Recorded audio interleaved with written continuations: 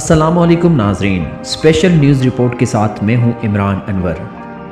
ناظرین، ایک انتہائی افسوسناک خبر آپ سے شیئر کرتے چلیں کہ مانسیرا تھانہ پھلڑا کی حدود میں مدرسہ تعلیم القرآن ٹھاکر میرا پڑھنا میں دس سالہ بچے کے ساتھ جنسی زیادتی کرنے پر ملزم کے خلاف مقدمہ درج۔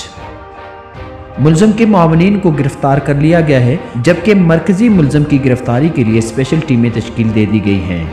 تفصیلات کے مطابق علی گوہر نے رپورٹ درج کرائی کہ اس نے اپنے بتیجے کو دو تین ماہ قبل مدرسہ تعلیم القرآن، ٹھاکر میرا، پڑھنا میں دینی تعلیم حاصل کرنے کے لیے داخل کروایا تھا۔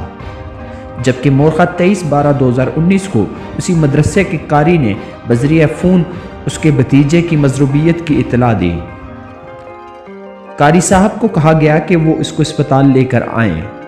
بتیجے کو جب اسپتال لایا گیا تو وہ بے ہوش تھا۔ ہوش آنے پر اس نے بتایا کہ مرخہ تیئیس بارہ دو ہزار انیس کو مدرسے کے ایک قاری شمس الدین نے مدرسے سے دور لے جا کر میرے ساتھ نہ صرف زبردستی بدفہلی کی بلکہ جسمانی تشدد بھی کیا۔ شور شرابہ پر دو تین اشخاص موقع پر آگے اور وہ بھی مجھ پر تشدد کرنے لگے۔ مدہی کی رپورٹ پر تھانہ پھلڑا نے مقدمہ علت نمبر دو سو چون زیر دفعہ 377 پی پی سی کے تحت مقدمہ درج کر لیا۔ ڈی پی او مانسیرا، صادق بلوچ اور S P investigation Mansehra Muhammad Arif Javed نے فوری ایکشن لیتے ہوئے فل فور مدرسہ کو سیل کر دیا۔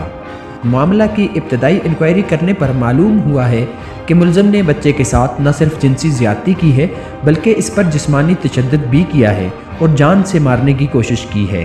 جس پر ایف آئی آر میں دفعات تین سو چوبیس، ایک سو نو، دو سو ایک، دو سو دو، تین سو سینتیس اور ترپن C P A child protection act کے دفعات کا بھی اضافہ کر دیا گیا ہے۔